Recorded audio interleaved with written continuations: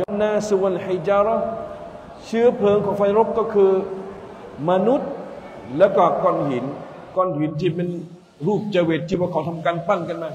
อัลลอฮฺสุบฮานาวตาลาจะเอามนุษย์ และก้อนหินนั้นเนี่ยเป็นเชื้อเพลิงในไฟนรกอะลัยฮะมาลาอิกะตุนกิลาดุนชิดาดุนซึ่งบนนรกนั้นนี่จะมีบรรดามาลายกัตที่มีความหยาบคาย มีความรุนแรง นะซึ่งอัลลอฮฺตาลานั้นเนี่ยได้ทรงสั่งใช้พวกเขาให้ทำการทรมานผู้ที่อยู่ในไฟนรก บรรดามาลายกัตในในไฟนรกเนี่ยที่ประจำการอยู่ในไฟนรกเนี่ยพวกเขาจะมีความเมตตาเลยไม่แต่น้อยนะมีแต่ว่ากีลาดนชีดาดนมีแต่ความหยาบคาย มีแต่ความรุนแรงในการทรมานผู้ที่ปฏิเสธอัลลอฮ์ผู้ที่ทำการฝ่าฝืนอัลลอฮ์ سبحانه และ تعالى แม้เราจะทำการร้องขอบรรดามาลากัตเพียงใดก็ตามเนี่ยยังไงมาลากัตเขาก็จะไม่ผ่อนปลนในการทรมานผู้ที่กระทำความชั่วผู้ที่ฝ่าฝืนอัลลอฮ์ سبحانه และ تعالى ลายะซูนัลลอฮะมาอัมรหุมบรรดามาลากัตนั้นจะไม่ทำการฝ่าฝืนอัลลอฮ์ในสิ่งที่พระองค์ได้ทรงสั่งใช้พวกเขาวายฟาลูนามายุมารุนและบรรดามาลากัตนั้นจะกระทำสิ่งที่ พวกเขาได้ถูกใช้ ไฟนรกที่มีความร้อนแรง ร้อนแรงยิ่งกว่าไฟในดุนยาถึง 69 เท่าด้วยกัน ไฟดุนยาในท่านพี่น้องคงจะรู้จัก เนื่องจากว่ามีความร้อน มีความเจ็บปวดนะฮะมีความแสบร้อนถ้าหากว่าเราได้โดนไฟลวกหรือโดนไฟเผา แต่ให้เราทำการนึกว่า ในวันเกียรติเนี่ย ความเจ็บปวดของการถูกไฟเผาในโลกดุนยาเนี่ยในวันเกียรติเนี่ยจะมีความเจ็บปวดแสบร้อนถึงเจ็ดสิบเท่าด้วยกันด้วยเหตุนี้เนี่ยอัลลอฮฺสุบฮานาวะตาลาเลยสั่งใช้ให้บรรดาผู้ที่มีความศรัทธานั้นเนี่ยทำการป้องกันตนเอง และครอบครัวให้พ้นจากไฟนรก แล้วการป้องกันพ้นจากไฟนรกนี่คือทำยังไงท่านพี่น้อง ท่านซีนาอาลีรอดิยัลลอฮุอันฮุได้ทำการอธิบายว่า อิตตะกุนนารอิตตะกุนนารยาอายุฮัลลดีนกูอังฟุสกุมไออัลลิมูฮุมวะอัดดิบุฮุมการป้องกันครอบครัว การป้องกันตนเองให้พ้นจากไฟรกนั้นเนี่ยด้วยกับการศึกษาวิชาความรู้ จงสอนครอบครัวให้มีความรู้ ความรู้นี่แหละที่จะมา ป้องกันเราให้พ้นจากไฟนรก เพราะฉะนั้น เราลองมองถึงอนาคตลูกหลานของเรา บางทีเราเป็นห่วงลูกหลานของเรา เพียงแค่ดุนยากลัวว่าลูกหลานของเรานั้นเนี่ยจะมีความยากลำบากในอนาคต กลัวว่าจะไม่มีงานทำกลัวว่าริสกีเนี่ยมันจะน้อย บางทีเราก็ทำการส่งลูกหลานของเราให้ทำการเรียนวิชาสามัญโดยที่ไม่สนใจให้ลูกหลานของเรานั้นทำการร่ำเรียนวิชาการศาสนา เพราะเราเป็นห่วงอนาคตของลูกหลานในดุนยาแต่ในความจริงแล้ว คนที่เป็นพ่อเป็นแม่เนี่ยจะต้องเป็นห่วงอนาคตของลูกหลาน ให้ไกลกว่านั้นก็คือในวันเกียรติ วันในวันเกียรติเนี่ยลูกหลานของเราเนี่ยจะเป็นยังไง จะอยู่ในนรกหรือว่าอยู่ในสวรรค์ อันนี้ถ้าไปน้องต้องทำการคิดแค่ควรพิจารณา เนื่องจากว่าอัลลอฮฺสุบฮานุวะตาลานั้นทรงสั่งใช้ เพราะฉะนั้นถ้าหากว่าเราต้องการให้ลูกของเราเนี่ยมีความสุขสบาย มีความปลอดภัยในทั้งดุนยาและก็อาคิระรอดพ้นจากไฟนรก ท่านพี่น้องจะต้องเอาใจใส่ทำการสอนให้ลูกหลานมีวิชาความรู้ในด้านของศาสนา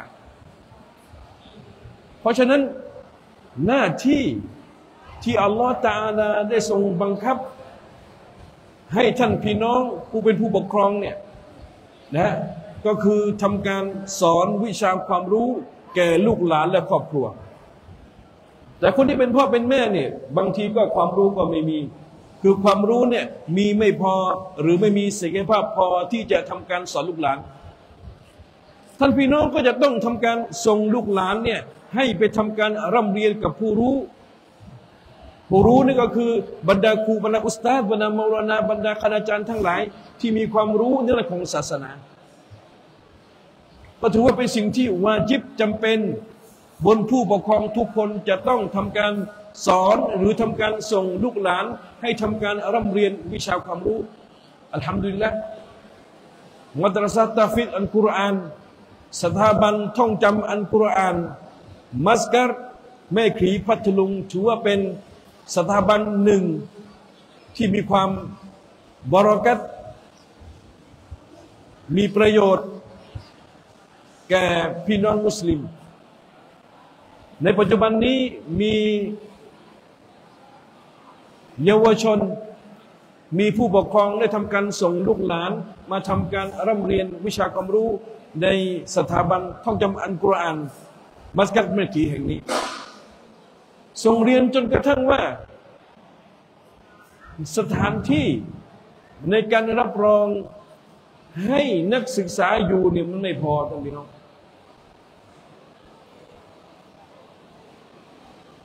การที่เป็นอยู่การที่จะนอนพักในสถาบันแห่งนี้เนื่องจากว่าสถาบันแห่งนี้นั้นเนี่ยได้ทำการรับนักเรียนนักศึกษาโดยไม่ไปกลับ ก็ต้องทำการเรียนทำการสอนทำการกินทำการอยู่ทำการนอนทำการพักผ่อนดำเนินชีวิตอยู่ในสถาบันแห่งนี้ ถ้าไปน้องลองนึกภาพดูว่า ถ้าหากว่าเราไม่ทำการขยายสถาบันแห่งนี้ให้กว้างขึ้นเนี่ยลูกหลานของเรานี่ก็ต้องทำการนอนเนี่ยติดกันในความเป็นจริงแล้วมันก็ดีแหละครับ เนื่องจากจะมีความผูกพันกัน แต่ถ้าบอกว่ามีนักเรียนคนใดคนหนึ่งเนี่ย ได้ป่วยไม่สบายขึ้นมาเนี่ย ก็อาจจะทำให้นักเรียนคนอื่นเนี่ย ติดจากโรคนั้นได้ นะ เพราะฉะนั้นจึงมีความจำเป็นที่เราจะต้องทำการขยายสถาบันแห่งนี้ ดังที่ท่านพี่น้องเนี่ยได้เห็นนะว่าตอนนี้เนี่ยเรากำลังมีการสร้าง ซึ่งการสร้างสถาบันศึกษาวิชาความรู้ศาสนาเนี่ยเป็นบังรุเป็นสิ่งที่เป็นสุนัตอันนี้โดยภาพรวมท่านพี่น้อง แต่ถ้าหากว่ามีความจำเป็นอย่างยิ่งยวด นะในการสร้างก็ถือว่าเป็นสิ่งที่วาจิบเป็นสิ่งที่มีความจำเป็น ซึ่งในตอนนี้เนี่ยถือว่าการสร้างสถาบันการสร้างโรงเรียนของมัสกัดเมขีเนี่ยมีความจำเป็นที่จะต้องสร้างแล้วแต่เขาวาจิบจำเป็นจะต้องสร้างแล้วนะไม่เช่นนั้นแล้วเนี่ยก็จะเกิดความยากลำบากเกิดขึ้นแก่บรรดานักศึกษานะอัลฮัมดุลิลละ ในการจัดงานวันนี้ถือว่าเป็นเนื้อมัดอันยิ่งใหญ่ แล้วก็เป็นโอกาสที่ดีที่พี่น้องนั้นเนื่อจะได้มีส่วนร่วมนะในเรื่องของการศึกษาวิชาพุทธศาสนา มีส่วนร่วมในการที่จะสร้างสถาบันให้คนของอัลลอฮ์สุบฮานาวตาลาเนี่ยได้ทำการอยู่ได้ทำการร่ำเรียนวิชาความรู้ศาสนาโดยเฉพาะอย่างยิ่งสถาบันแห่งนี้ถือว่าเป็น สถาบันแห่งหนึ่ง ที่จะเป็นเกราะป้องกันลูกหลานของพวกท่านให้พ้นจากไฟนรก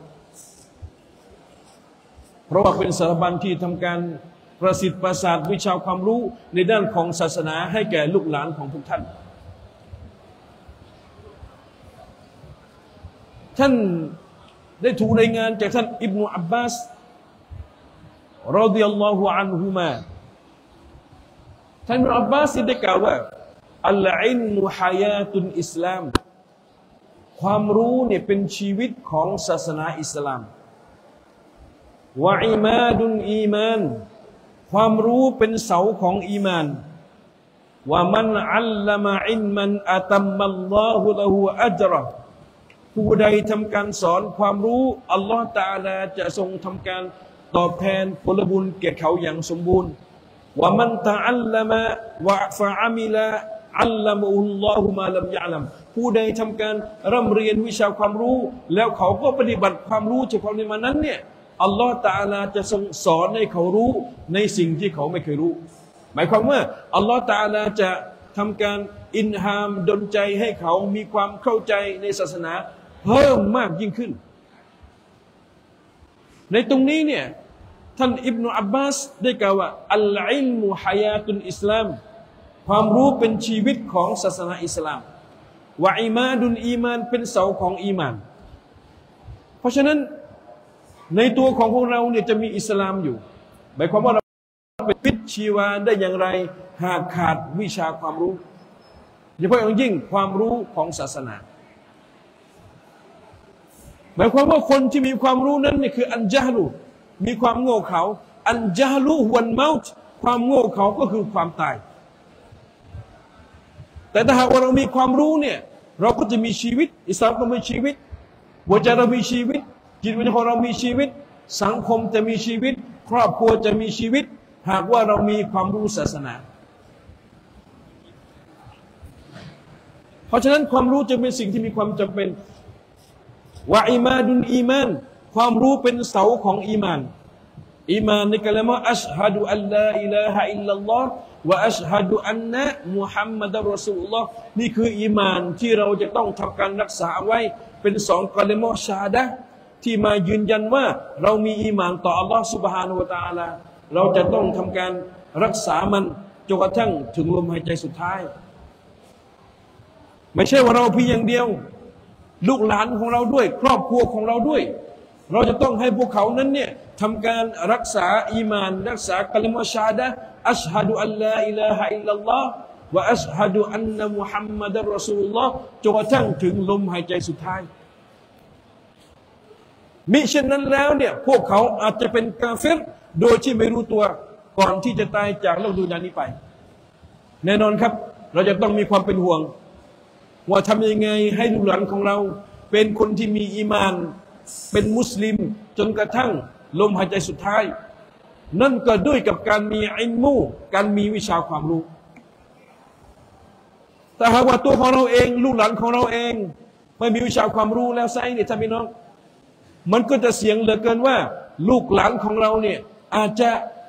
ตกอยู่ในสภาพที่เป็นกาเฟตตกมุตตัดโดยที่ไม่รู้ตัว ไปมีหลักอิยติกรยึดมั่นที่ทำให้ตกศาสนา ไปกระทำสิ่งที่ทำให้ตกศาสนา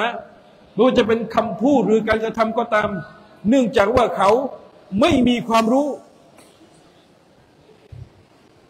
แล้วถ้าพี่น้องจะมีความรู้สึกยังไง หากว่าลูกหลานของเราเนี่ยกลายเป็นกาเฟตไป เนื่องจากเราไม่สนใจไม่ส่งเสริมให้ลูกหลานของเรามีความรู้ด้านของศาสนา ท่านอบูเรย์รดิยัลลอฮุอันฮุท่านอิหม่ามอัลกอซาลีท่านอิหม่ามอัลกอซาลีรดิยัลลอฮุอันฮุท่านได้กล่าว ว่าจำเป็นแก่เบาคนหนึ่งนั้นเนี่ยจะต้องมีอยู่สี่ประการด้วยกันจำเป็นแก่เบาเนี่ยเราเป็นเบาของอัลลอฮฺสุบฮานวะตาลาเนี่ยจะต้องมีสี่ประการนะ ถ้ามีสี่ประการนี้แล้วเนี่ยถือว่าเราปลอดภัยแล้ว แต่ถ้าหากว่าไม่มีสี่ประการนี้เนี่ยชีวิตของเราเนี่ยจะไม่ปลอดภัยในทั้งดุนยาและกาอาคิรอถ้าอิมามอัลลอฮฺสุลิท่านได้กล่าวว่าจำเป็นแก่เบาจะต้องมีสี่ประการด้วยกันหนึ่งอัลอิลมูจะต้องมีความรู้สองอัลอามาลูจะต้องทำการปฏิบัติ สามอัลอิคลาสูจะต้องมีความอิคลาสบริสุทธิ์ใจในการปฏิบัตินั้นสี่จะต้องมีความกลัว กลัวว่าตนเองนั้นเนี่ยจะมีโรคของหัวใจที่ไม่ดีเข้ามา กลัวว่าตนเองนั้นจะมีจุดจบที่เลวร้าย กลัวว่าตนเองนั้นจะมีความตะกบดมีความรุยะ มีความอวด มีสิ่งที่ไม่ดีเนี่ยเกิดขึ้นแก่ตัวของเราจนทั้งมีจุดจบที่เลวร้าย หมายความว่ายังไง หมายความว่าคนเป็นมุสลิม คนเป็นมุมิน คนเป็นเบาของอัลลอฮฺสุบฮานุวตาลาเนี่ยจะต้องมีอินมูก่อนนะอัลอินมุฟยะมัลุอัตตรีกอาวลันวะอิลลาฟัวอามาเราจะต้องศึกษาวิชาความรู้ เพื่อจะให้รู้ถึงทางทางที่จะเดิน ทางที่จะทำการปฏิบัติอามันอิบาดัตให้มีความถูกต้อง ถ้าความรู้ไม่มี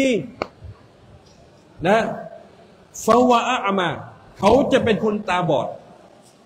คนไม่มีความรู้ไม่รู้ทาง ไม่รู้วิธีในการปฏิบัติอามันอิบาดัตเขาจะเป็นคนตาบอด ตาบอดยังไงท่านพี่น้อง อยากจะละหมาดละหมาดไม่เป็นละหมาดไม่ถูก อยากจะทำการอาบน้ำละหมาดอาบน้ำละหมาดก็ไม่ถูก ยกฮัดัสก็ไม่ถูก เมื่อยกฮัดัสไม่เป็นอาบน้ำละหมาดไม่เป็นละหมาดก็ไม่ซ้อม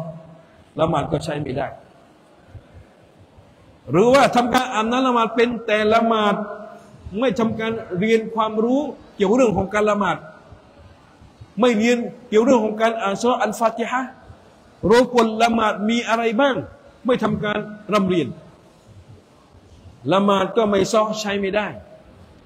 เมื่อละหมาดไม่ซ้อใช้ไม่ได้อัลลอฮฺตะอัลาก็ไม่ตอบรับ กลายเป็นว่าเขาเนี่ยไม่เคยละหมาดตลอดชีวิต หากว่าละหมาดของเขานั้นใช้ไม่ได้ เนื่องจากไม่มีชาวความรู้ คนที่ถูกฮุกมว่า ไม่ละหมาดตลอดชีวิต เนื่องจากอัลลอฮฺตะอัลาไม่รับละหมาดของเขา เนื่องจากละหมาดเขาไม่ซ้อเนื่องจากเขาไม่มีความรู้เนี่ย ถ้าพี่น้องเราดูกันแล้วกัน ว่าวันเกียรติจะเกิดอะไรขึ้น เขาจะถูกอาสาบถูกลงโทษ ถูกทรมานยังไงวันเกียรติอย่าว่าแต่วันเกียรติเลย ในกูโบร์เนี่ยก็ต้องถูกทรมานแล้ว หากว่าการละหมาดเนี่ยไม่ซ้อใช้ไม่ได้ เนื่องจากว่าคนมุสลิม ที่ไม่มีชาความรู้ท่านพี่น้อง อเวลาตายไปในกุโบร์เนี่ยถูกวางบนหลุมกุโบร์ทำการฝังเสร็จเรียบร้อยอัลลอฮฺตาลาจะให้ไฟเนี่ยแวะเวียนมาที่มายิดนั้น ไฟนี่จะเข้ามาที่ศีรษะก่อนเลยมาทางศีรษะ มันจะเข้าทางศีรษะเพื่อจะมาเผา มาเผา มัยิดนั้น แต่การละหมาด บอกว่า ด้านนี้ไม่มีทางเข้าแล้ว หมายความว่า อัสซาละการละหมาดจะเป็นเกราะป้องกันมีให้ไฟเนี่ย มันเข้าไปเผามายิดทางด้านของศีรษะ ไฟก็จะเข้าไปที่ทางด้านขวา ด้านขวาเนี่ย การถือสินอด บอกว่าทางนี้ก็มีทางเข้า ไฟก็ไปด้านซ้าย พอไปด้านซ้ายเพื่อจะเข้า มาเผามายึดสกาดบอกว่าทางนี้ก็มีทางเข้า แล้วไฟก็ไปทางด้านเท้า เพื่อจะเล็ดรอดเข้ามาได้ เพื่อจะเผามายึดการสระกอง และอามันอื่น ๆ บอกว่า ทางนี้ไม่มีทางเข้า แสดงว่ามีเกราะป้องกันอยู่สีด้านเลย ไฟไม่เข้ามา พี่น้องอย่าลืมว่า การละหมาดก็ดีการสุดก็ดี การออกสากาศก็ดีการสละก็ดีเนี่ยจะเป็นเกราะป้องกันเนี่ยสำหรับผู้ที่มีความรู้ ถ้าหากว่าความรู้ไม่มีละหมาดไม่ซ้อละหมาดไม่เป็น ถือสอดไม่ซ้อใช้ไม่ได้สากาศออกไม่เป็น และอามันอื่น ๆทำไม่ถูกต้อง ความหายนะก็จะเกิดขึ้น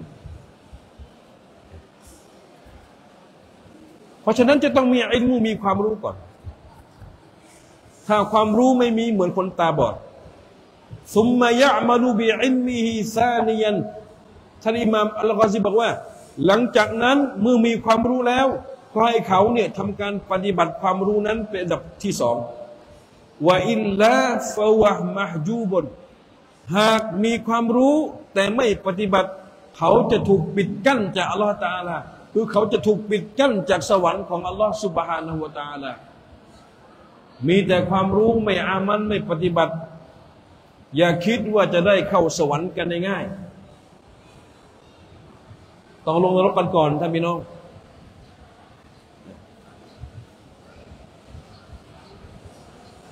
เพราะอัลลอฮ์ سبحانه และ تعالى ตรัสว่า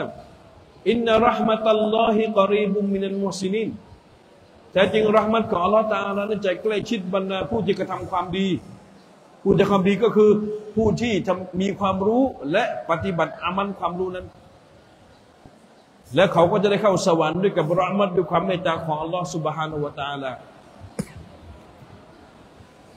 ประการต่อมาซุมมายุคลิสุนอามัลซาลียันซาลิซัน หลังจากนั้นเมื่อเขามีความรู้แล้ว เขาลงมือปฏิบัติแล้ว เขาจะต้องมีความอิคลาส มีความบริสุทธิ์ใจว่าอิลลาฟะฮุมักบูนุนหากมีความรู้ลงมือปฏิบัติอามัน แต่ไม่มีความอิคลาส บริสุทธิ์ใจต่ออัลลอฮฺตาลา เขาจะเป็นผู้ที่ขาดทุน ขาดทุนสูญเปล่า ในวันเกียรตินึกว่าจะมีอามันเยอะ ที่แท้ไหนได้อัลลอฮฺตาลาไม่รับสักอย่างหนึ่งเพราะอามันที่ทำนั้น ไม่มีความอิคลาสไม่มีความบริสุทธิ์ใจ ต่อมาประการที่สี่ละยาซาลูยาคอฟูยูฮัซิรุมินอาฟัตเขาจะต้องยังคงมีความกลัว กลัวว่าตนเองนั้นเนี่ยจะมีจุดจบที่เลวร้าย เขาจะต้องมีความระมัดระวังในการดำลังชีวิต อย่าหลงตัวเอง ต้องระวังจากบรรดาโรคต่าง ๆ คนเราเนี่ยพอเวลา มีความรู้แล้ว ปฏิบัติอามันแล้ว มีความอิคลาส บริสุทธิ์ใจแล้ว บางทีอาจจะมีโรคเข้ามาได้ เช่น โรคอุจุบลำพองตน คิดว่าตัวเองเนี่ยเรื่องมันจะแจ๋วแล้วนะพอทำอามันเยอะเลยบางทีตะกบดคิดว่าตนเองนั้นดีกว่าคนอื่น เพราะฉันมีความรู้ฉันทำการปฏิบัติอามันเยอะ แล้วก็ฉันมีความอิคลาสบริสุทธิ์ใจ รู้สึกตัวเองดีกว่าคนอื่นท่านอิมามอัลลอฮฺบอกว่าฟาวามักบูนนฟาวามักรูรนบุคคลนี้เป็นบุคคลที่หลงตัวเอง หลอกตัวเองนะก็เกิดความหายนะ เพราะฉะนั้นสี่ประการนี้จะต้องมี แก่บรรดาผู้ที่มีความศรัทธาผู้ที่มีอิมานหนึ่งต้องมีความรู้สองต้องมีอามันสามอิคลาสสี่จะต้องระมัดระวังตนเอง อย่าหลงตนเองนะแต่เป็นน้องเราสังเกตว่าประการแรกที่ท่านอิมามอัลลอฮฺเขาบอกว่า ลักษณะของเบาอัลลอฮ์ลักษณะของคนมินนั้นต้องมีอิลมูมีความรู้ เพราะฉะนั้น ความรู้มีความสำคัญมาก พราะท่านอบูเรรอฮ์เราดิยัลลอฮุอันฮุได้ทำการกล่าวว่าท่านรอสูลุลลอฮ์สัลลัลลอฮุอะลัยฮิวะสัลลัมได้กล่าวว่ามามินมาลูดินอิลลายูลดูอัลฟิตรห์ไม่มีจากเด็กทารกคนใด เว้นแต่เขาจะเกิดมาบนฟิตรห์บนความบริสุทธิ์ หมายความว่าเด็กทารกที่เกิดมานั้นเนี่ย เขาจะมีความเตรียมพร้อมที่จะเข้าใจศาสนาอิสลาม มีความเตรียมพร้อมที่จะอีมานต่ออัลลอฮ์สุบฮานาวตานาอยู่เสมอฟาบาวาฮูยูฮาวีดานีฮิวายุนัสซิรานีฮิเอายุมัดจีซานีฮิแต่พ่อแม่ทั้งสองของเด็กต่างหากที่ทำให้เด็กทารกเนี่ยเป็นยะฮูดเป็นนัสรอเป็นพวกมายุสี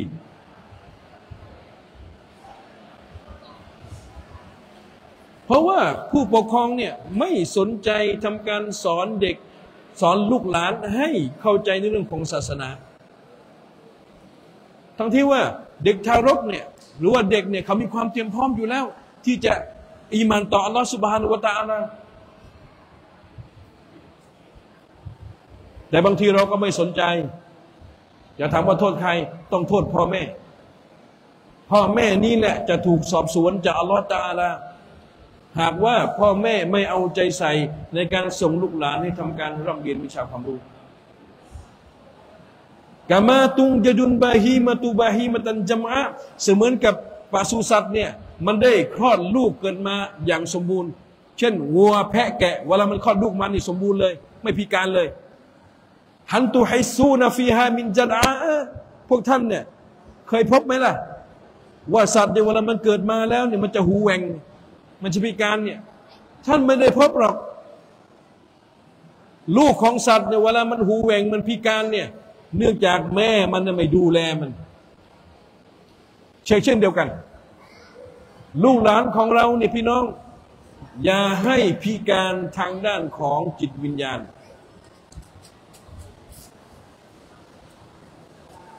คนพิการทางด้านจิตวิญญาณคือคนที่ไม่สมประกอบนั่นแหละ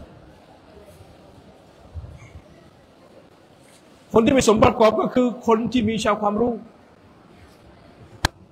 ถ้าท่านพี่น้องให้ลูกหลานเนี่ยทำการร่ำเรียนวิชาความรู้ศาสนา ลูกหลานของเราก็จะมีความสมบูรณ์ ไม่พิกลพิการในด้านของจิตวิญญาณหัวใจแล้วก็สติปัญญา เพราะฉะนั้นเราก็จะต้องให้ความสำคัญ นะพระท่านรสุลลอฮ์สัลลัลลอฮุอะลัยฮิวะสัลลัมได้กล่าวว่าตลบุลอิลมีฟรีดตุนอาลาคุลมุสลิมินการศึกษาวิชาความรู้นั้นเป็นฟัรดูอย่างยิ่งยวด เป็นฟัรดูอย่างยิ่งยวด แก่มุสลิมทุกคน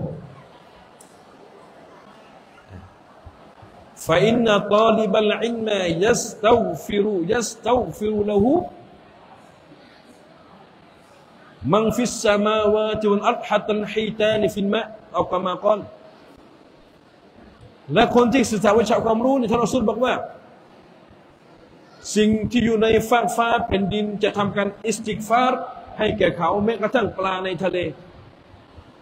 ก็ทำการอิสติกฟาร์ขอดุอาต่ออัลลอฮฺตาลาให้อภัยโทษแก่บรรดาผู้ที่ทำการศึกษาวิชาความรู้ เพราะฉะนั้นคนศึกษาวิชาความรู้เนี่ย ถือว่าเป็นผู้ที่มีเกียรติ มีตำแหน่งที่มีเกียรติ เป็นตำแหน่งที่อัลลอฮ์สุบฮานะฮูวตาลาให้ทุกสิ่งทุกอย่างในชั้นฟ้าแผ่นดิน บรรดามาลายกัตนะบรรดาต้นไม้ บรรดาสารสัตว์ทั้งหลายแม้กระทั่งกุ้งหอยปูปลาในทะเลทำการอิสติกฟาร์ขอดุอาต่ออัลลอฮ์ให้พระองค์ทรงอภัยโทษ ให้แก่ผู้ที่ทำการศึกษาวิชาความรู้เพราะฉะนั้น การที่ท่านพี่น้องได้ทำการส่งลูกหลานของท่าน มาทำการร่ำเรียนวิชาการศาสนาส่งลูกหลานของท่าน มาทำการร่ำเรียนวิชาความรู้ ในสถาบันท่องจำอันกุรอานแห่งนี้ เท่ากับว่าท่านพี่น้องได้ทำการยกระดับยกฐานะของลูกหลาน ให้อยู่ในการอิสติกฟาร์ของบรรดามาลาอิกะของทุกสิ่งทุกอย่างแม้กระทั่งปลาในทะเลอยู่ตลอดเวลา นั่นคือ เกียรติอันยิ่งใหญ่ที่อัลลอฮฺสุบฮานะฮูตะอาลาได้ทรงให้แก่ผู้ที่ทำการศึกษาวิชาความรู้ท่านพี่น้องครับท่านรสูลุลลอฮ์สัลลัลลอฮุอะลัยฮิวะสัลลัมได้ทำการกล่าวว่าสี่ประการด้วยกัน ที่ผลบุญการตอบแทน จะยังคงหลั่งไหลไปยังพวกเขา หลังจากที่ตายไปแล้ว ถ้าพี่น้องมีสีประการนี้ พี่น้องเสียชีวิตไปแล้วในกุบรก็ตามเนี่ยบัญชีความดีงามเนี่ยยังมีผลบุญบันทึกให้อยู่ตลอดนะบุคคลแรก รจุลนมาตมุรอติบันฟีซาบิลิลละชายคนหนึ่งที่เสียชีวิต เนื่องจากเขาได้ประจำการปกป้องดินแดนอิสลาม ในหนทางของอัลลอฮฺสุบฮานะฮูตาลาเขาออกไปรบประจำการอยู่ชายแดนนะพอออกไปรบแล้วเนี่ยจะทำการป้องกันให้บรรดาพี่น้องที่อยู่ในเมืองในประเทศนั้น อยู่อย่างปลอดภัย ผลบุญก็จะได้แก่ผู้ที่ตายชหิดอยู่ตลอด ในสถาบันแห่งนี้ก็เหมือนกัน คนที่ทำการจับจองที่ดินแห่งนี้ ใครคือคนแรกทำการจับจองที่ดินแห่งนี้ แล้วก็ทำการสร้างมรกัสสร้างมัตรสะสร้างสถาบันท่องจำอันกวานขึ้นมา บุคคลนั้นจะได้ภาคผลบุญอยู่ตลอด ไม่ว่าเขาจะเสียชีวิตไปแล้วก็ตามอัลฮัมดุลิลละวรจุลอัลลมามาวรจุลอัลลมอินมันฟาอัจรูจัจรีอะลัยฮิมาอุมิลบิฮิชายคนหนึ่งที่ทำการสอนวิชาความรู้ และผลการตอบแทนความรู้นั้นยังคงหลั่งไหลไปยังเขาตราบใดที่ความรู้ที่เขาสอนนี่ยังคงปฏิบัติยังคงนำมาปฏิบัติ ผลบุญก็ยังคงขึ้นอยู่ในบัญชีอามันของเขา แม้กระทั่งว่าเขาจะอยู่ในกุบฏแล้วก็ตามอันนี้ก็ถือว่าเป็นคุณงามความดีของบรรดาอุสตาบรรดามาลานาบรรดาคณาจารย์ทั้งหลายที่ทำการสอนในสถาบันแห่งนี้ และสถาบันอื่น ๆ สอนวิชาความรู้ศาสนา ให้ลูกหลานของเราได้ทำการปฏิบัติอามันอิบาดัตอย่างถูกต้อง สอนอันกุรอานให้พวกเขาเนี่ยทำการอ่านกุรอานถูกต้องละหมาดถูกต้อง ทุกความรู้ที่บรรดาสานุสิทธิ์ได้ทำการนำไปอามันนำไปปฏิบัติ ผลบุญก็จะได้ผู้ที่เป็นครูสอน แม้กระทั่งครูนั้นเนี่ย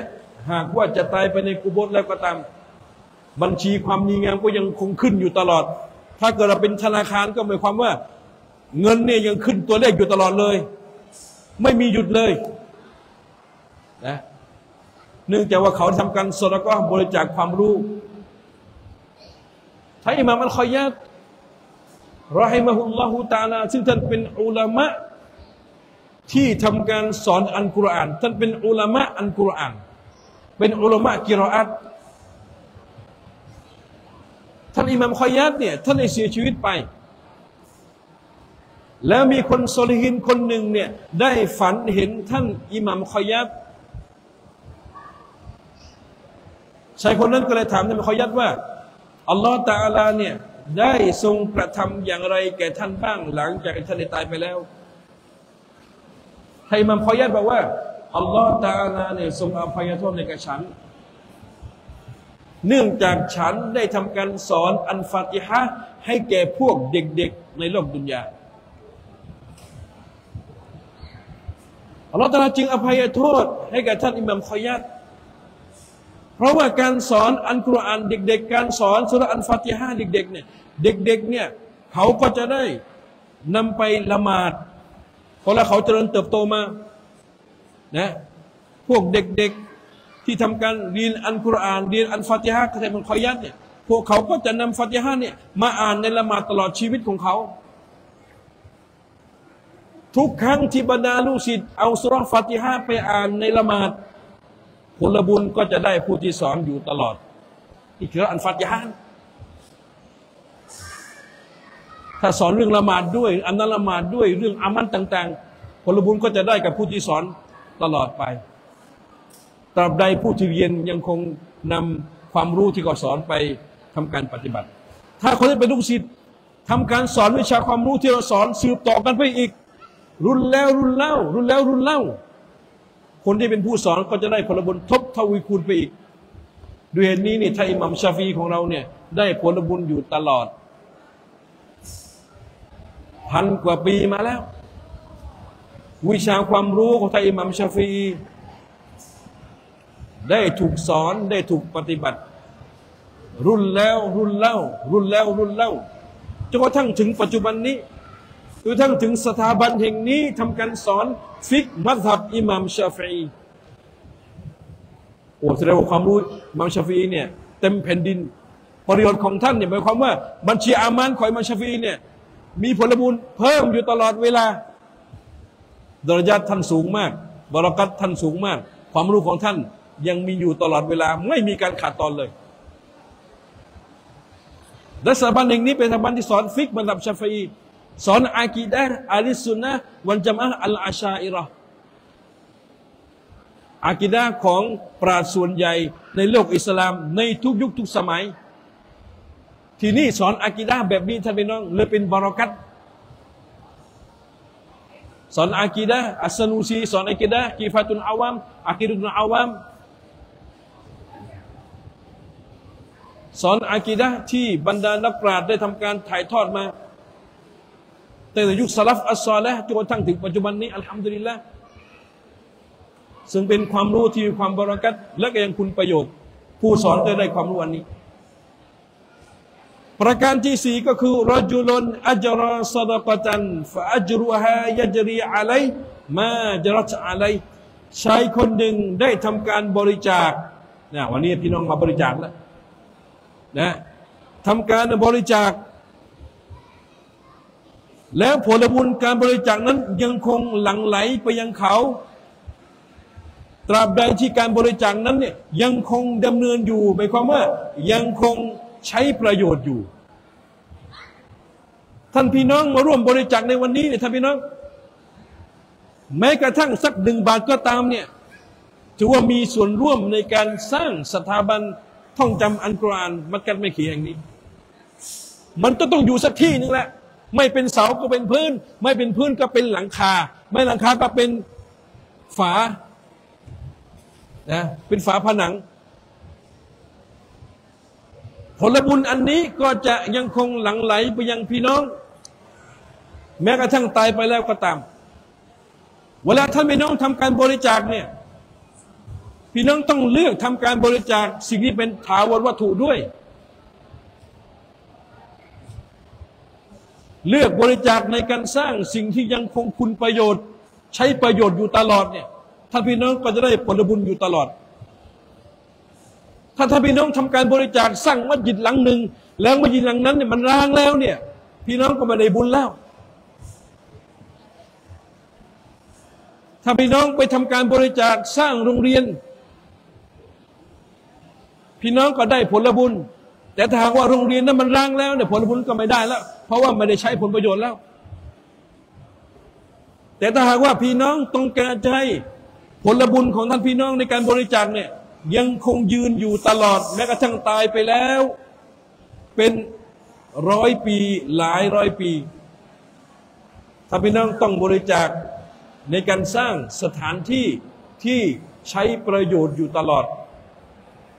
ส่วนหนึ่งคือมัสยิด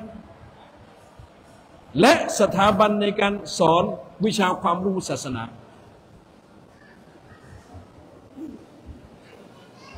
ทุกครั้งที่มีการสอนวิชาความรู้ศาสนา ทุกครั้งที่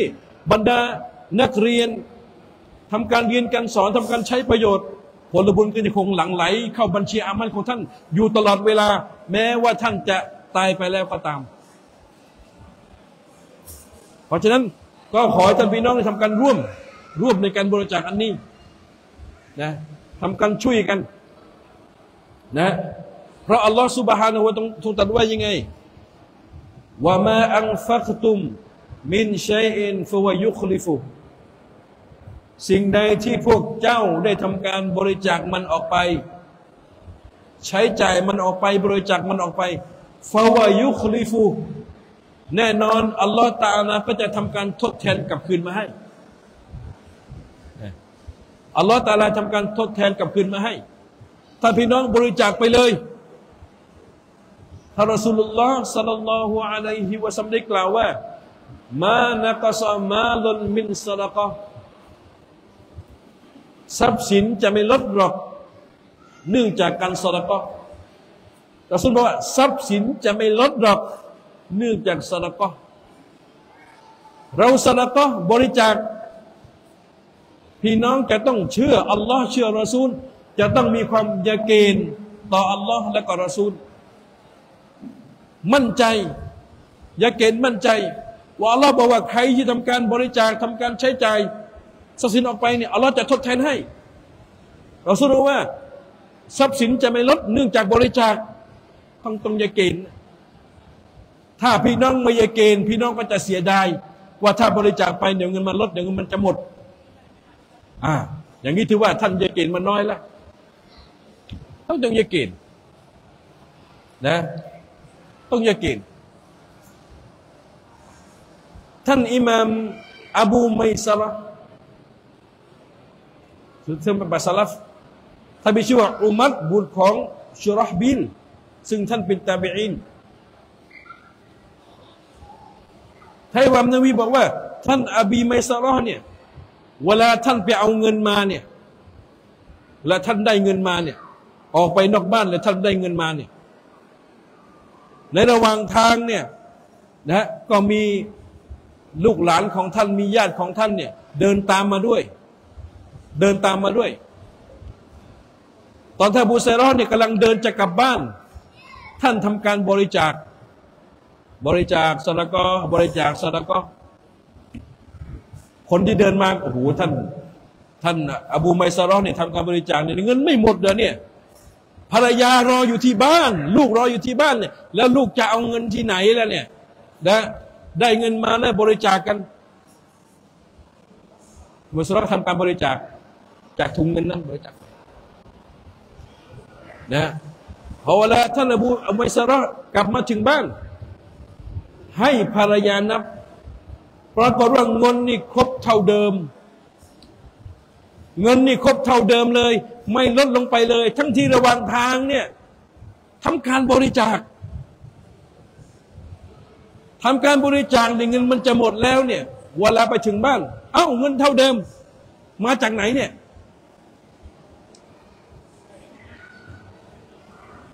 คนที่ทำเดินทางไปพร้อมกับท่านมุสลิมบอกว่าท่านมุสลิมบอกว่า บอกกับคนที่เดินมา บอกพวกท่านไม่ทำแบบนี้บ้างเลย ไม่ทำแบบนี้บ้างเลย คนที่เดินมาพร้อมกับท่านบอกว่า หากพวกเรารู้ว่าการบริจาคเนี่ยไม่ทำให้ลดแบบนี้เนี่ย พวกเราก็จะทำแสดงว่าคนที่เดินมาพร้อมกันไม่ยาเกณฑ์เนี่ยนะก็เลยไม่กล้าทำการบริจาคกลัวเงินกลัวเงินมันจะลดถ้าอบูไมซรอเนี่ยไม่กลัวยาเกณฑ์ต่อรอตาละบริจาคคือบริจาค กับบ้านเงินเท่าเดิม เพราะอะไร ท่านอูมัยซอร์นี่ท่านได้บอกว่าอินนีลัสตัวอัชริตัวฮาดะอัลารับบีอัลซาวะจัลลาฉันทำการบริจาคอันนี้เนี่ย ฉันไม่ได้วางเงื่อนไขไว้กับอัลลอฮ์สุบฮานุวะตาลาไม่วางเงื่อนไขเอาไว้ บริจาคไปเพราะอยากเกณฑ์ต่ออัลลอฮ์ไม่ได้วางเงื่อนไขว่าอัลลอฮ์เนี่ยฉันบริจาคนี้เนี่ยพระองค์ต้องพระองค์ต้องให้เพิ่มให้แก่ฉันนะ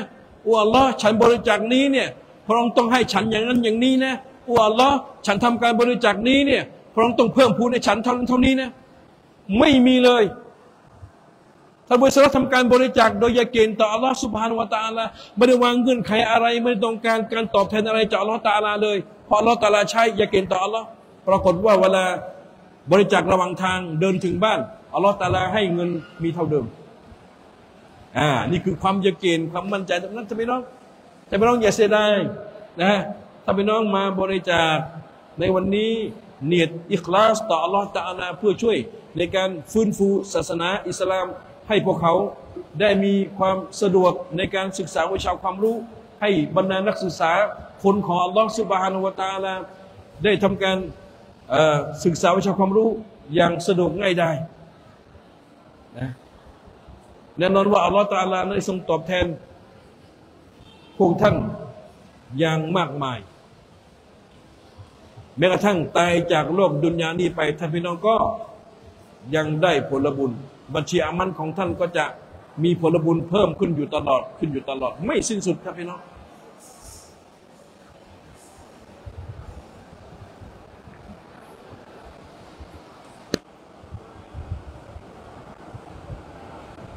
ท่านพี่น้องครับ มีขอนิดหนึ่งมีโคศกมีรายการหลังจากนี้ไหม นะมีรายการหลังจากนี้ไหมครับ นะ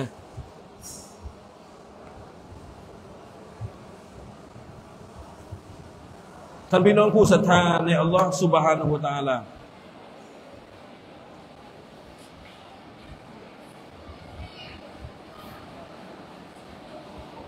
ในเรื่องของความยาเกณฑ์ ความยาเกณฑ์มั่นใจในอัลลอฮฺสุบฮานวะตาลาเรื่อของริสกีนชนในยุคก่อนเนี่ยพวกเขามีความยาเกณฑ์มาก ได้ถูกรายงานมาจากท่านอบีจาฟัดบุตรฟัลคัตตอบซึ่งเขาเป็นคนซอลิฮีนเขาได้ทำการกล่าวว่า มีคนขอทานคนหนึ่งเนี่ยได้มายืนหน้าบ้านของท่าน เพื่อจะมาขอทาน ท่านบีจาฟัดบอก จึงทำการกล่าวกับภรรยาของท่าน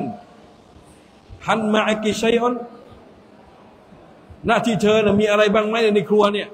มีคนกำลังมาขออยู่หน้าบ้านเนี่ยก็บอกภรรยาว่าเธอมีอะไรบ้างไหมในครัวเนี่ยภรรยาบอกว่าในครัวเนี่ยมีไข่อยู่สี่ฟองด้วยกัน มีไข่อยู่สี่ฟองด้วยกัน คนเป็นพ่อบ้านเนี่ย พอลาภรรยาบอกว่ามีไข่สี่ฟอง แล้วก็มีคนจะมาขออยู่เนี่ย คนเป็นพ่อบ้านทบูจาฟัดเลยบอกว่า เธอจงเอาไข่สี่ฟองนี้เนี่ย ให้กับคนขอทานที่มาขอสิให้ไข่สี่ฟองนี่อยากถามว่า แล้วภรรยาลูกนี่จะได้กินอะไรแหละไข่สีฟองบริจาคหมดเลยไม่เหลือเลย แต่ถ้าบูจาฟัดอัลคาตอบเนี่ยอับิลินุคาตอบเนี่ยท่าน มีความยาเกณฑ์มาก เอาละไข่สีฟองนี่บริจาคไปแล้วก็ตามเนี่ย แต่เราอย่าลืมนะอัลลอฮ์บอกอัลลอฮ์จะทดแทนให้ การบริจาคสละก็ไปเนี่ย ไม่มีการลด แต่บริจาคไข่สีฟองไม่เหลืออะไรเลยเนี่ย แล้วมันลดไม่ใช่หรอแล้วไหนแหละสิ่งที่อัลลอฮฺตรัสทดแทน พอภรรยาเอาไข่สีฟองนั้นไป ให้กับคนขอทานที่มาขอหน้าบ้าน แล้วคนขอทานก็กลับไป ปรากฏว่า หลังจากนั้นมีญาติพี่น้องของท่านอบูจาฟัดอิมคอตอบได้เอาไข่ถุงหนึ่งมาให้แก่ท่าน เอามาให้แก่ท่านถ้าจะฟัดรู้แล้วนี่นี่นี่งานของอัลลอฮฺตาลาเนี่ยกำลังทำให้เห็นแล้ว เนื่องจากความเยาเกณฑ์เนี่ย มีพี่มีญาติพี่น้องเนี่ยเอาไข่มาให้ท่านผู้จะฟัดเนี่ยหนึ่งถุงอาบูจาฟัดเนี่ย จึงทำการถามภรรยาว่า ในถุงนั้นเนี่ยมีไข่กี่ใบ ภรรยาบอกว่า มีสามสิบใบ มีสามสิบฟอง ท่านอบูจะเขาบอกว่า นี่เธอคิดยังไงเนี่ย มันต้องสี่สิบสิสามสิบได้ยังไงเนี่ยเมื่อกี้เนี่ยให้ใครคนขอทันไปสี่ฟองเนี่ยเราจะเกณฑ์เอาเราต้องให้สี่สิบฟองสิเพราะหนึ่งเท่ากับสิบเนี่ยเธอนับยังไงนี่สามสิบท่านจะฟันเนี่ยมันก็รู้มาแล้วนะว่าร้อนเนี่ยยาเกณฑ์รัตนจะให้กลับคืนมาเนี่ยนะเธอให้เขาไปสี่ฟองไม่ใช่หรอแล้วได้มาสามสิบได้ไง ก็ต้องสี่สิบเลยนะภรรยาบอกว่า ก็สี่สิบฟองนั่นแหละ แต่แตกไปสิบฟองเหลือสามสิบฟองทำไมเลยสามสิบฟอง เพราะตอนที่ภรรยาให้ไข่สี่ฟอง แก่คนขอทานเนี่ย มันมีแตกอยู่ฟองหนึ่งคนขอทานก็เลยได้ไปสามฟอง แล้วได้ไข่แตกไปฟองหนึ่ง อาลอตตาลักเลยคืนมาให้สามสิบฟองไม่ใช่สี่สิบสี่สิบมาแตกไปเลย นั่นคือความเยเกณฑ์ของคนซอลิฮินว่าเมื่อเราทำการบริจาคไปเนี่ยอัลลอฮฺตาลาจะทำการชดเชยให้ คืนกลับมาให้ ท่านพี่น้องทำการบริจาควันนี้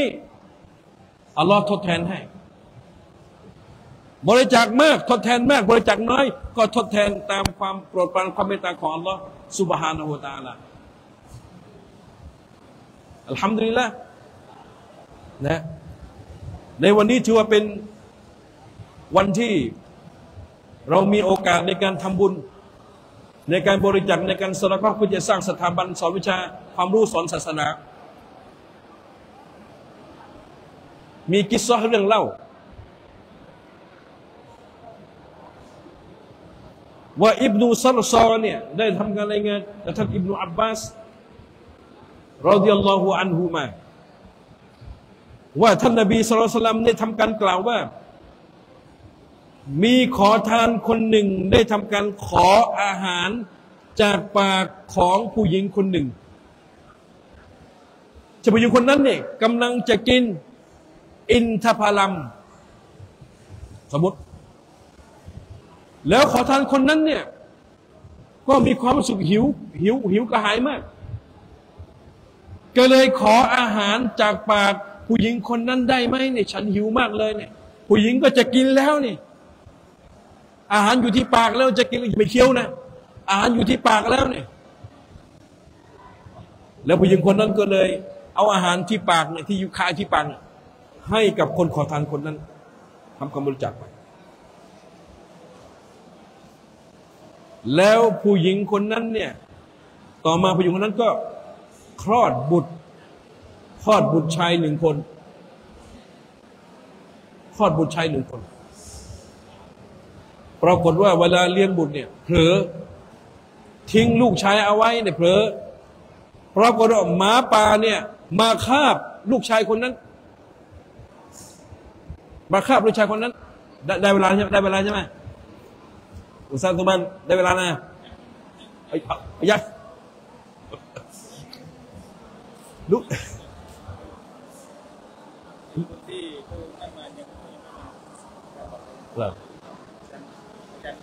เดี๋ยวจะไปกับพี่แล้วหญิงคนนั้นเนี่ย ปรากฏว่า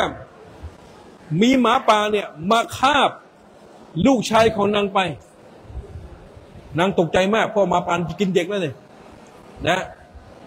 หมาป่าก็เลยคาไป คนที่เป็นแม่เนี่ย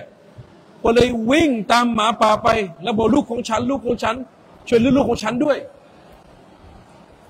หมาป่ามันคาไปแล้วอัลลอฮฺตาลาส่งมาลายกัดมา ท่านหนึ่ง มาแปลงจำแรงเป็นคน ไล่ตามหมาป่าไป แล้วก็เอาเด็กทารกคนนั้นออกจากปากของหมาป่า เพื่อจะช่วยเหลือ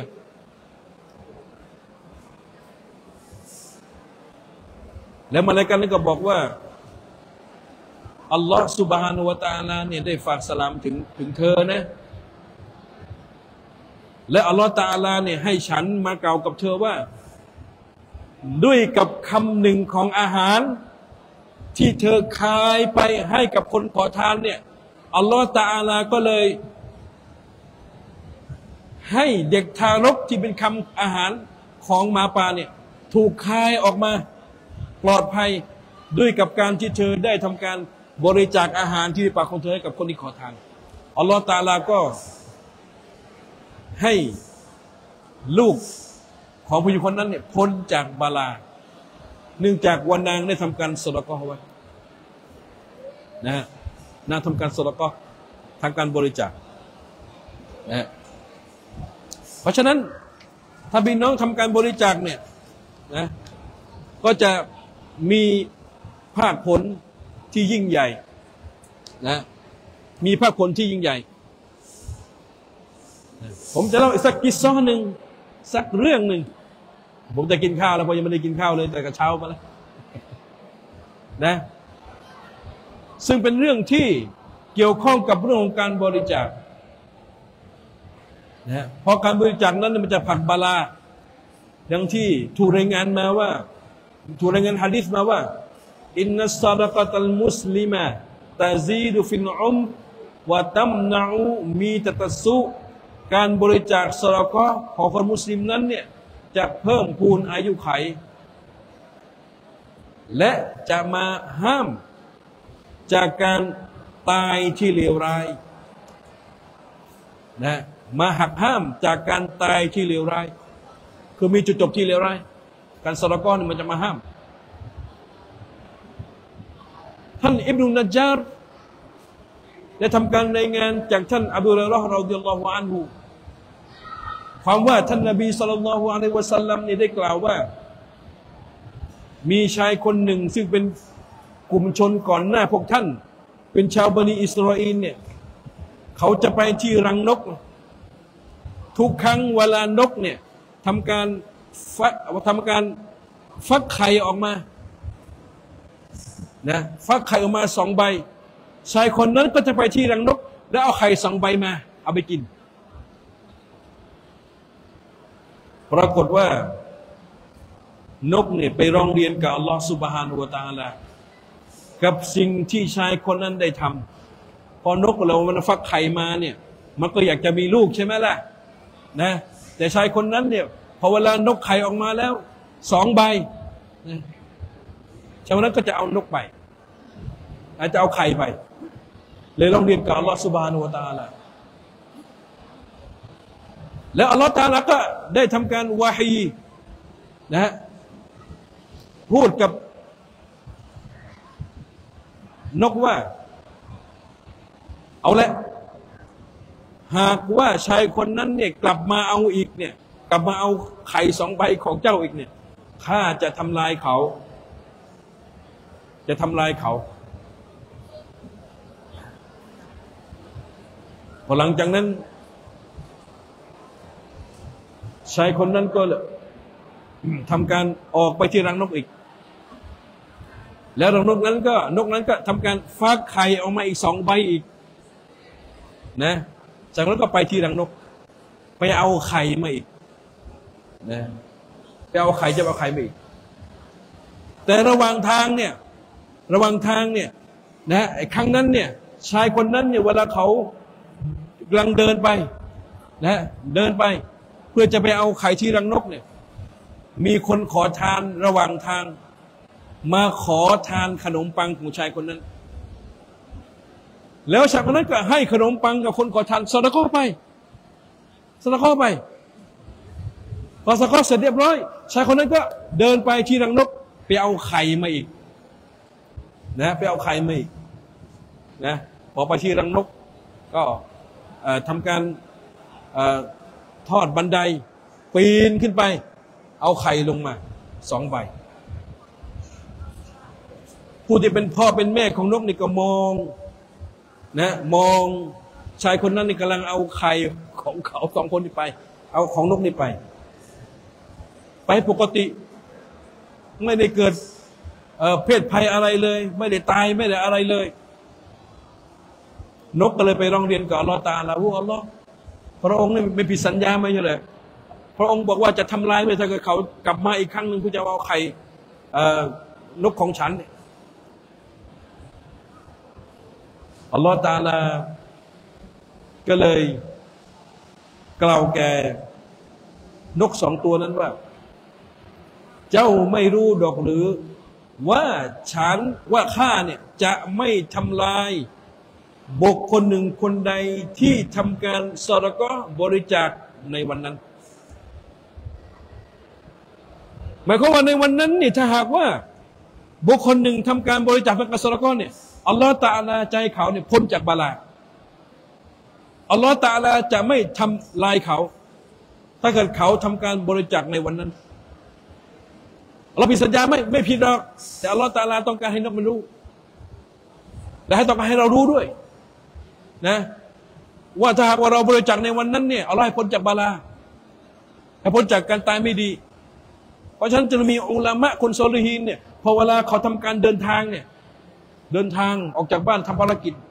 ขอสละก็ก่อนทำการบริจาคทำการสละก็เพื่อจะได้